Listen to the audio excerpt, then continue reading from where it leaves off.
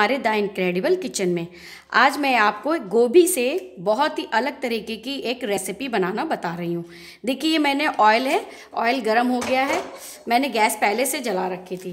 ये थोड़ा सा ऑयल है। मैं इसमें गोभी इसको अच्छे से मैंने धो लिया है और थोड़ी बड़ी बड़ी मैंने काटी हुई है।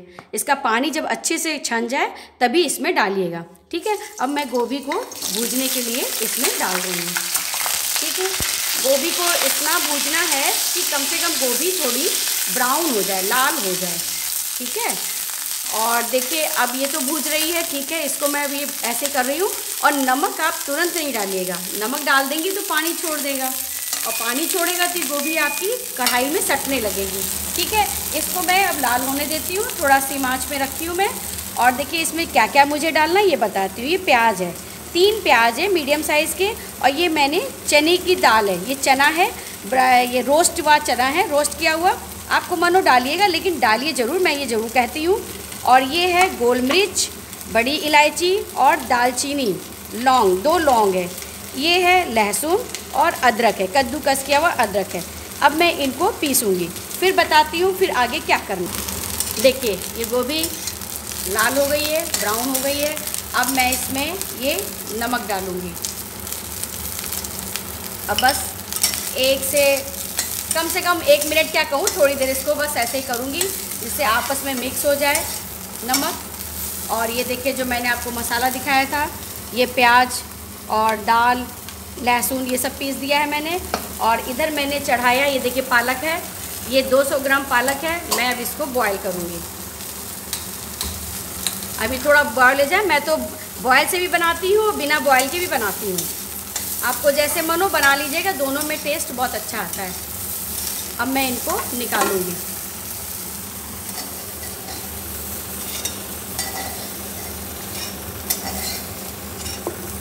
अब निकाल के मैं फिर इसमें ऑयल डालती हूँ।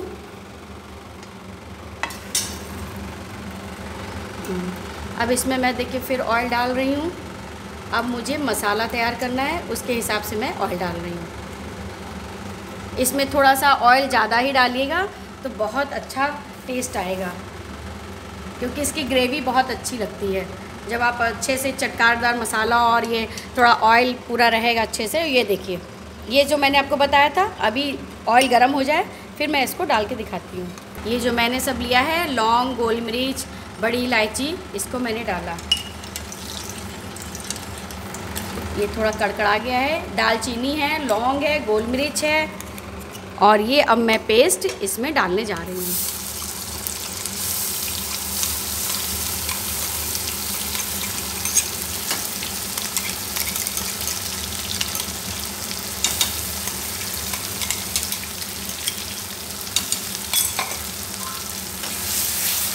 इसको मैं हल्की आँच में ऐसे भूजूँगी और इसमें अब मैं डालूँगी कम से कम चार चम्मच धनिया।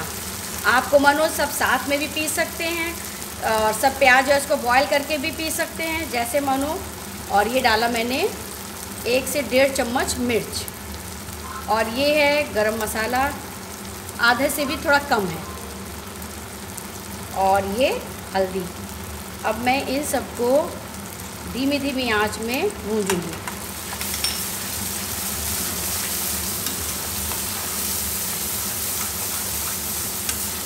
आपको मन हो एक साथ आप डाल के सब चीज़ पीस सकते हैं। मन हो आप इस तरह से बना सकते हैं। दोनों तरीके से बनता है ये। अभी मैं इन दोनों टमाटरों का प्यूरी बनाऊँगी, फिर दिखाती हूँ। इसको थोड़ा देर भून लें, फिर प्यूरी बना के दिखाती हूँ। ये देखिए मैं टमाटर पीसने जा रही हूँ टमाटो प्यूरी बनाऊँगी इसका। आपको मन हो खड़ा डाल लीजिए काट के महीन महीन, पीस के। लेकिन पीस के बहुत टेस्ट अच्छा आता है। और ये मैंने थोड़ी सी काजू ले रखी है। आपको मूँगफली हो या काजू हो, इसको भी इसमें पीस दीजिएगा। बहुत अच्छा टेस्ट आता है। एकदम शाही पनीर से भी ज़्यादा अच्छा टेस्ट आता है। ठीक है? अब मैं चलती हूँ पीसने। ये देखिए, मैंने कसूरी मेथी को मसल के डाल दिया है। कसूरी मेथी है। अब मेरा मसाला काफ़ी हद तक भुज गया है। अब मैं इसमें डालूँगी ये जो मैंने आपको दिखाया था, टमाटर और काजू का पेस्ट। टमाटर काजू का ये पेस्ट है। इनको थोड़ी देर भूंजूँगी मैं। बहुत मस्त बनती है सब्ज़ी। आप प्लीज़ कभी इसको बनाइएगा ज़रूर और पूरा वीडियो देखेगा वीडियो आप बढ़ा बढ़ा के देखेंगी तो आपको नहीं समझ में आएगा। बहुत लोग मेरे हाथ का ये सब्ज़ी खाए हुए हैं और जब घर में जाके बनाए करें वो टेस्ट नहीं आ रहा। अरे, अब टेस्ट कैसे आएगा? जब आप इसी ढंग से बनाएँगे, तब तो आएगा।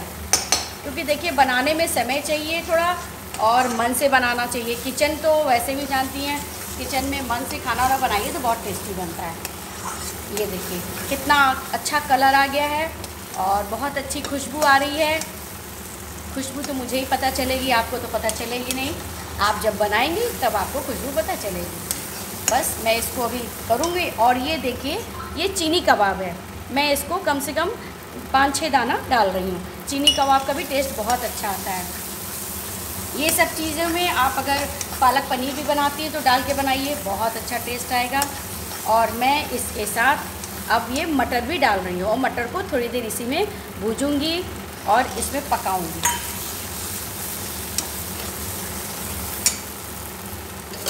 देखती हूँ, मेरा पालक हो गया कि नहीं। हाँ पालक काफ़ी अच्छा बॉयल हो गया अब मैं इसको पलट देती हूँ। काफ़ी अच्छा बॉयल हो गया है। अब थोड़ा ठंडा हो जाए, फिर पीसती हूँ।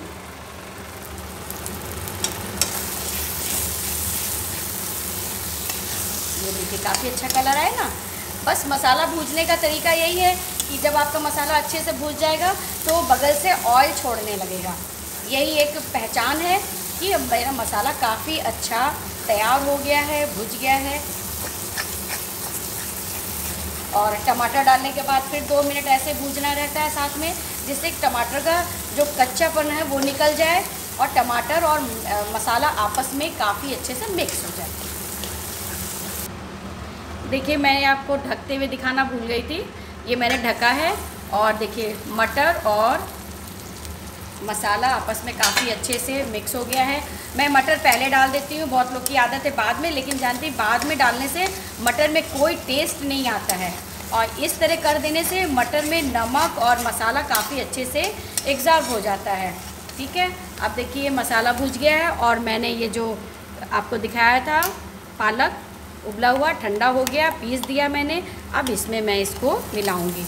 और इसके साथ कम से कम मैं पाँच मिनट भूंजूँगी जिससे कि आप जान सकते हैं कि पालक का हरापन ख़त्म हो जाए। मैं तो कभी कभी बॉयल भी नहीं करती हूँ, और ऐसे भी बनाती हूँ तो दोनों तरीके से अच्छा लगता है।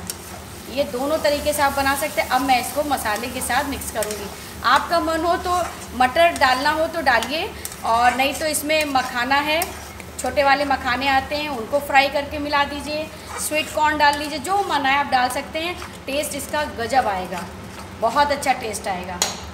फ्राई मखाना डाल देंगी तो और टेस्ट आएगा। देखिए, ये पालक और मसाला सब भुज गया है मिक्स हो गया है। काफ़ी अच्छा दिख रहा है। और ये मैंने अब डाला वो जो फ्राई की हुई गोभी। मैंने नमक इसमें डाल रखा था, इसलिए मैंने नहीं डाला है। बाद में गोभी भूजते हुए मैंने डाला था। अब मैं इन सबको आपस में मिक्स करके कम से कम दो मिनट भाप लगाऊँगी। उसके बाद मन हो आपको ज़्यादा अगर ग्रेवी तैयार करनी है तो ज़्यादा पानी डाल दीजिए थोड़ा। और अगर कम ऐसे ही गाढ़ा रखना है तो थोड़ा सा पानी डाल के लटपटार वाली सब्ज़ी बना लीजिए। हम लोग दोनों तरीके से बनाते हैं। अगर आपको चावल, अगर आपको चावल खाना है तो आप थोड़ा ज़्यादा रसा कर दीजिए। वरना ये तो बस गरम गरम चपातियाँ हों, मक्खन लगी हुई हो, बस। मज़ा आ जाता है खाने में। अब मैं ढकती हूँ। अब मैं इसको एक मिनट से लेके कम से कम दो तीन मिनट ढकूँगी, जिससे आपस में मिक्स हो जाए। ठीक है? अब मैं इसको ढकती हूँ।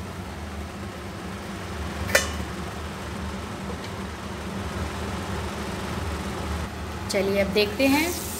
वाह कितना बढ़िया लग रहा है। जितना बढ़िया लग रहा है, उससे कहीं ज़्यादा बढ़िया आपको ये खाने में लगेगा। आप इसको ज़रूर बनाइएगा प्लीज़ और देखिएगा कितना मस्त टेस्ट है, देख रही हैं? अब ये गोभी और पालक, मसाला सब आपस में मिक्स हो गया है। देख रही गोभी इसमें थोड़ी बड़ी साइज़ की रखिएगा। और अब मैंने इसमें डाला ये हींग। अब हींग डालती हूँ और इसमें अब थोड़ा सा मैं पानी डालूँगी। दो मिनट के लिए भाप लगाऊँगी। आपका मन हो इसमें मक्खन डाल लीजिए, मन हो चीज़ डाल लीजिए, मन हो इसमें आप एक चम्मच मलाई डाल लीजिए। तीनों में कोई भी चीज़ डाल लेंगी, बहुत अच्छा बहुत अच्छा टेस्ट आएगा। और ये मैंने जो पालक और मसाले का ग्राइंड में मसाला लगा हुआ था, उसी का ये पानी है। ठीक है, मैंने इसको ग्राइंड और उसका धो दिया है। और कोई ख़ास नहीं, उसी का ये मसाले का पानी है। बस, मुझे अब इतना पानी रखना है, क्योंकि सभी चीज़ से खा सकते हैं आप, चाहे चावल हो, चाहे रोटी हो। बस, अब इसको दो से चार मिनट और भाप लगाऊँगी। बस, तैयार हो गई देखिए, कितनी मस्त सब्ज़ी है।